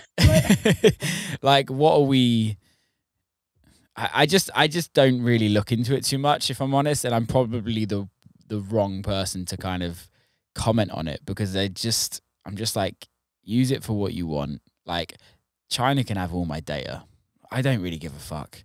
Like it's not really going to affect me in the grand scheme of things. Yes maybe in the future and maybe I should be a little less naive about it and look at it as a bigger scale but I don't know. What's your thoughts? Well, I mean, I guess the like that that is probably a common view, right? I think that attitude towards it is probably analogous to the average user yeah. or TikTok and, of socials generally. And I guess the, the issue is like, you know, it's actually the the totality of the users in aggregate, which is what makes it uh, important, right? So, I mean, just just st- sticking on TikTok, um, like you know, the reason that they they might ban it is because half of Americans use it. Like, it's definitely controlled to at least a certain extent by what is a hostile Yeah. and the ability of them to put their thumb on the scale as it were of you know uh, content which is reaching that number of citizens of of a of a given country that's a huge amount of power you've got over Totally. that population Totally agree. so it's just a tool of propaganda potentially Yeah. you know and obviously no one can tell um to what extent if at all that is being used but just the potential for it to be used you can understand why maybe not too keen on that happening. But i mean with the there's kind of wider stuff which is applicable to i mean just taking that the ownership um debate the, the ownership angle just taking that off the table like if it, if it got spun off from ByteDance if they don't that's one potential solution to it is that it's not banned but they spin it off to you know and, and then have it Yeah, yeah. publicly traded on the on the nasdaq or whatever. Um like the the problems with it with regards to what you know what you were saying uh attention span but also you know the mental health implications for kids, Yeah. which are pretty well established at this point. Like it's not like a controversial thing to say that uh you know teenage girls really don't benefit from using these sorts of applications.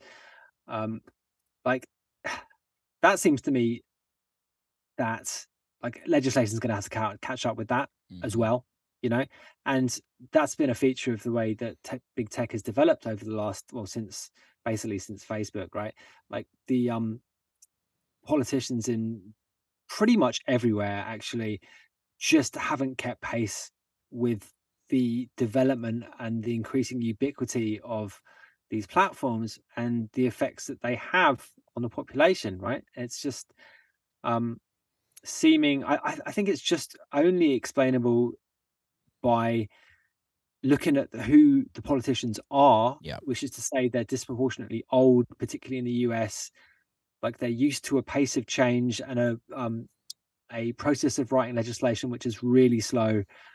And the just the the nature of tech is that you know if you you're writing something like writing an act writing a an act of parliament or whatever which is going to come into court come into force in like two years time or whatever but the whole everything's changed in two years right Yeah. so yeah i think that like the development of, of social media more generally is like it's, it's not been a good advert for representative democracy I- at all Yeah. I, I don't disagree. I guess my view on that side of things is it's not necessarily about legis- legislating tech because we know the internet. What no matter how old you are as a kid, especially the younger the kids get, the more um, they're way more tech savvy than the than the, the people that are older. If you know what I mean, it's classic example that you you give your kids your phone and they teach you how to use it. Um, Sure. I think like with um, I, I- what I really mean, I think, is like the legislation of stuff like data, like we were talking Totally. about. Yeah. I guess for me though, on the mental health side of things, is it's more so about the legislation of education. And it's how do you educate the younger generation? How how can we as I'm not a parent, but how can we as parents, as older people, as schools, as the curriculum educate people on mental health in modern day society because it's very different to when we grew up if you know what i mean. Like when we grew up it was like people would have issues with the magazines because there'd be like size zero models and like it was a huge thing then. But it was just on a different scale because it wasn't as readily available. Now it's readily available everywhere. And yet mental health is still not even spoke about in fucking schools So, yeah. So what I- what I say to that is like like there's always hysteria around what children consume. Mhm. So whether it's like metal lyrics or rap Totally. lyrics or video games or like you say magazines, like there's always a hysteria. I think the difference with this is that it's so well established that it is harmful yeah like you know the um I know, the the um connection to the supposed connection of violent video games to like school shootings right? Yeah. Like that was just that was an evidence free back of the envelope piece of like you know boomer hysteria right? Essentially. And likewise uh you know the lyrics and you know it, this is this is this is not serious right? But it's like i said pretty well established that using stuff like instagram uh when your brain is developing is really bad Yeah. you know and it seems to be like it's going to be well i mean there's, there's a number of ways this could play out but it could quite easily just be seen as being analogous to like alcohol or Mm, something totally. you know you just can't do it until you're 18 because it's just really bad for you you yeah know? and obviously, obviously obviously people will but just the kind of general attitude in society towards it um that's a potential scenario i mean another scenario is that it just doesn't get regulated at all and like we have a generation upon generation of really fucked up people which is completely possible I also think I I kind of like to put my faith in people a little bit, and I see it with like my niece and nephews, and their the eldest is like eleven now. Um, and yeah, he consumes a lot of YouTube, a lot of YouTube, but his views on Instagram and things like that is like, why would I want to put my life on the internet? Which for me is like really interesting. It's puberty, right? yeah, exactly. But uh, again, like I was just in South America and there was a lot of like I noticed a lot of people like on social media there that would very rarely post. They would consume, but they'd very rarely post. And there was a lot of like, you'd go on somebody's profile and there'd be like three photos.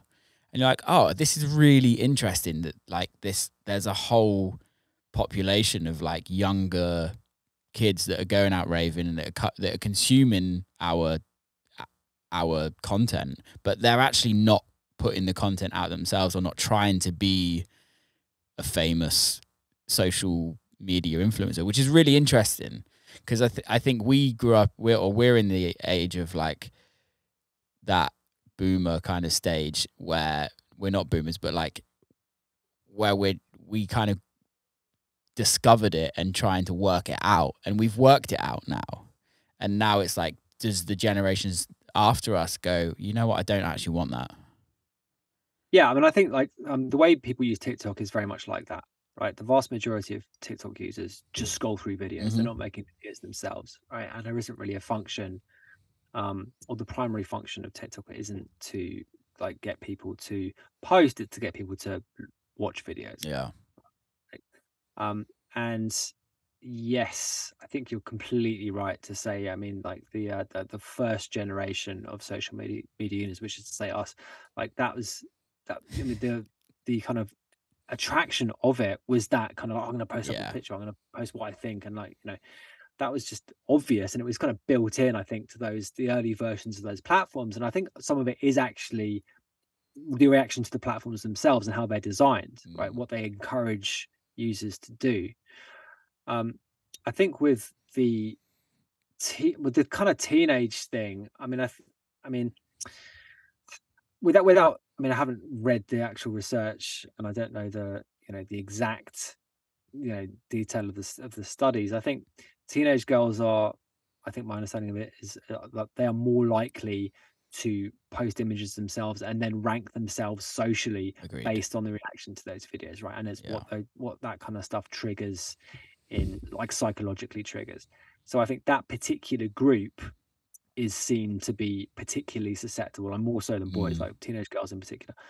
Um, so you'd think that that would be a fairly obvious piece of regulation to introduce, right?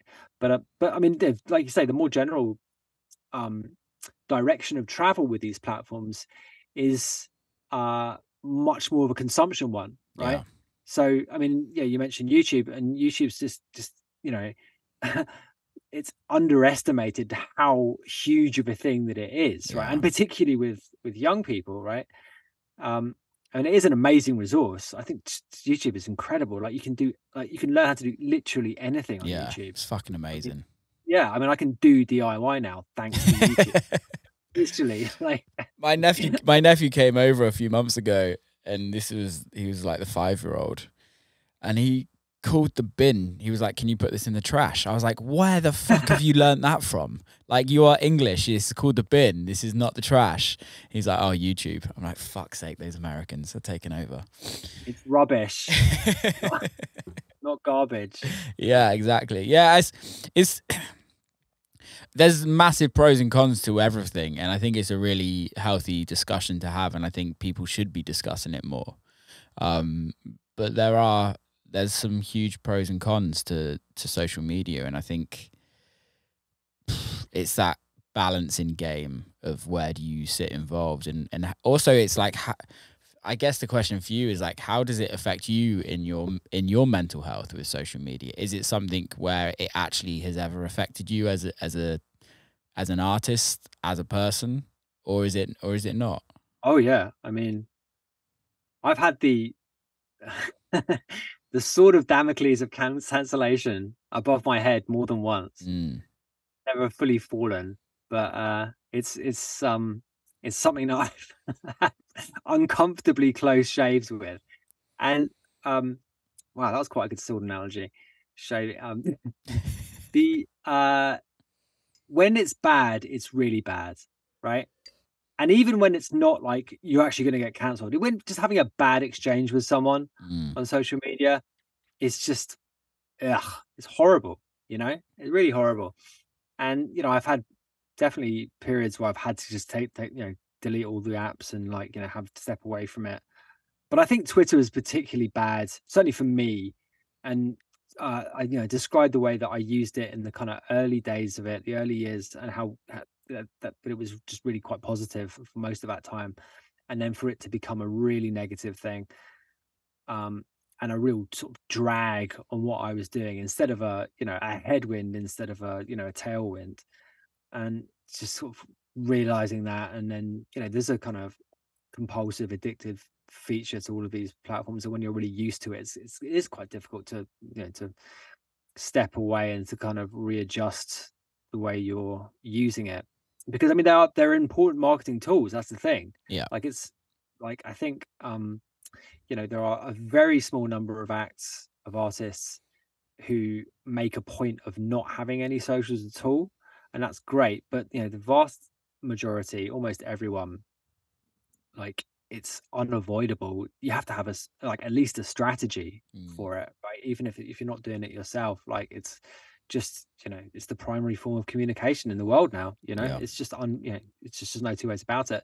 So yeah you have to accept that and and and try and find a way of doing it. I mean like i said like you have to find a way of doing it which is which makes sense for you you know and which which accurately or hopefully if that's your your, your um uh if that's your intention accurately represents who you are as a as a person or whatever you're trying to say artistically and i think that's the challenge for musicians is to kind of use those tools in a way which really yeah, adds value for want of a better term Yeah. to what you're doing but it's not always easy you know? I mean i think like you know, all of these things can be used in a really creative kind of a way you Mm, know? It doesn't have to be negative like it and it doesn't have to be um a chore it doesn't have to be you know something which is you know you've got to do oh god i've got to do my social posts like you can use these things in in ways which are fun Yeah. you know um but it's a way to do that Yeah, I totally agree. I totally agree, man. Um, twenty years of Hot Flush, obviously. Um, another twenty years. i'll be old in 20 years time i'm really really old i'm quite old now but in 20 years time i will be quite I will genuinely be old i don't know man like uh it's basically as long as it's fun I was gonna Right. say, have you enjoyed it? Because I think this is like I know you're quite cynic. I'm from. I've never met you in person. I've only met you in an hour and forty minutes. But I'm getting the very cynical vibes. But for doing something for twenty years, you must have enjoyed it. Oh, 100%. It's the, like like I said, it's my life's work, really. Yeah. Like looking at any any sort of objective way, this is my life's work.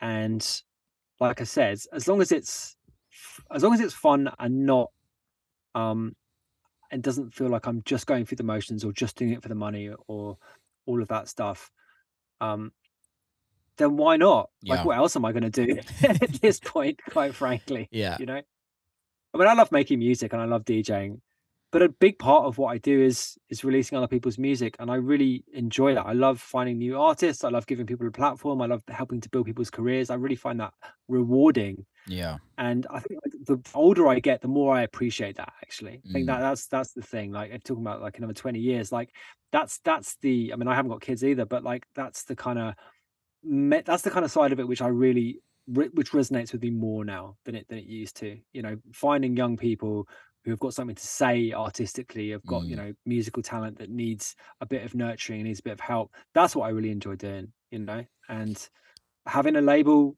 enables you to do that. Yeah. You know, It's Uh, really special. so- I th- I think it's something really uh special that it's about it's for me it's almost giving back to the community. And absolutely. Yeah. I think that's really important and and being able to bring people through and also allowing artists to leave the label and go and do their own thing, which is really important to me. I feel like there's a lot of labels that don't actually allow that and don't like that and kind of uh, have like a chokehold on their artist because that's it's just a weird ego thing. But I think something with that I've seen with Hot Flush over the years is that it's it's blossomed artists into their own careers and then allowed them to do their own thing, which I think is super important. Yeah, man. I mean, we've had people go to Warp, go to Domino, go to majors, and you know, if like if someone is achieving that level of success via our label, then that's great. You know, then mm. I've done my job right. You know, at, at, the end of the day, like I mean, if people want to stick around and do stuff with us, then that's, that's fantastic. But if people are getting those kind of offers, then you know that reflects well upon us. Yeah, you know, it's the way I see it. So yeah and like i said like the process of finding new people is to me the fun bit you know? How do you so, do that? um, how, how do you how do you do that? Because like for me as a label like i started my record label more as an outlet for me to release music because i was in a strange position with the music i was writing really didn't fit anywhere that i felt it would be kind of welcomed as a home. So I was like, okay, let's just start my own thing, and then I can kind of bring artists up and kind of help help grow them. But it was mostly a way for me to put music out myself, and I really struggle with the A and R process of finding music that I actually like to sign. Mm. I mean. it, it really varies if you're asking yeah how, how does it work i mean I get like like every dance label, right? We get sent just avalanches of just unlistenable rubbish. Yeah. Right? Just like, you know, the, the worst kind of uh YouTube production tutorial powered tech house. Yeah. Um, which is pretty dispiriting to have to wade through. But wade through it you must. Because occasionally, and it's not very often, you find something which is which is really great. And like I mean, it, it, it does vary. I mean, I have signed, I have found people who have just emailed the label. Mm. Like George Fitzgerald just emailed the label. Yeah. That's how George Fitzgerald got got got his break in music was just randomly emailing Hot Flush recordings. Um, I mean, there's been other ones where I've met people socially, and you know we've got on, and then they say, "I make music," and you're like, "Oh God, oh no." I'm gonna have to listen to it. But sometimes it's amazing. Yeah. And that's the best time, you know, that's the best, that's the best one. But um, like I said, that's not always a, a sentence you want to hear when you've met someone socially. but I mean, the uh yeah, I mean it music is well, I mean the beauty of yeah, I, I mentioned developments in music tech, right? And how it's uh, l- lowered the barriers to entry. So so many people make music now, mm. and it's which means the opportunity to find people is is everywhere. Um, now that uh, you know makes it harder in some respects, but it you know it means that there are there is more to be had. Yeah. So yeah, I mean, there's no. I mean, look, I mean, I'd be lying if I said I'd listen to everything we get sent, but I think making the effort to do it. I mean, for example, you know, Seymour Stein, the uh, legendary music executive and A&R guy, passed away, I think, yesterday. Mm. And one of the many tributes that I noticed to him on social media was that was an observation that he just listened to so much unsigned music, yeah. you know, into his 50s, 60s, and even 70s, you know, just across all new acts, you know, just listening, listening, listening, listening. And at the end of the day, um, if you love music, like that process of discovery is unbelievably rewarding. You know, even if you've got a way to, like the 150 tracks of cookie cutter tech house, they you forget all of them in, in an instant when you find that one, which is like, fuck yeah, this is great. Totally. And your previous two hours of woe disappears. Is that how you do it though? Is that how you kind of go through that process of like, okay, I allot a certain amount of time to go and listen through promos? Um, I I'm quite haphazard with it to be mm. honest. Uh, I, I mean I do that kind of thing a fair bit, but Um, I don't have like a, you know, if I was more organized, then that, that would be a good way of doing it. Yeah. Like if kind of like 11 till 12 a.m. wade through terrible music in the hope of finding. It's music. fucking um, depressing, mate. It can be so depressing. Oh, it, it absolutely can be. Yeah, you're you're you're totally right. But like I said, once once you find that one, then you you don't remember it. It's like giving birth, right? No no woman remembers giving birth. You just like you know you've got the kid at the end of it. That's it, right? I That- think coming from a man, you can't say that ever again. probably not. Anecdotally, that's my understanding of how it works, right? yeah. Women tend not to dwell on the uh The the, process. It's, it's more the uh what you have at the end of it, which is the important bit. Yeah, I agree. I agree with that, man. Dude, um, we're nearly coming up to two hours, so let's wrap this motherfucker up. Thank you so much for coming on. Um, really enjoyed this chat. Um, how can people get involved with your podcast? How can people listen? Um, and how can people get involved with the label? And also, oh, hang on, are you coming to America as well? Did I, Uh, did I, see something on your Wait, when's- socials? When's, this? When's this going out? This is When's coming episode out in May, second or third week in May. Are you? Are you? Would Okay, you well, I will have been to America. So thanks to everyone who came to my, my festival shows in North America next week. Um, yeah, hotflushrecordings.com is the label. Scubaofficial.io is scuba stuff. The podcast is called Not the Not a Diving Podcast, and yeah, we do it every week, and it's good. So you should listen to it. You also have a Patreon, right? Yeah, there's a Patreon to uh support the show. Yeah, which is um I do sort of bonus podcasts and that sort of thing on there. We have quite we have a really nice community on Discord actually. hotflushrecordings.com slash Discord is the Discord invite. You don't have to be a Patreon member to get into that. You can just come and say hello. But yeah, we have a really nice little community on there. So yeah, we'd like to see you there. Sick man. If you send me the links, I'll put it. Will. Yeah. If if you send me all the links, I'll put it in the description. So anybody that wants to go check it out, um, go check it out, mate. Thanks for coming on. Keep safe and hopefully catch you soon. Yeah, thanks for having me, man. Cheers, Enjoyed it. mate. Cheers. Peace. See you in a bit. And that is a wrap. Big love to Scuba for coming on. Uh, thanks for listening. Please don't forget to share, subscribe, give us a little review, and I will see you very soon. Keep safe. Till next time.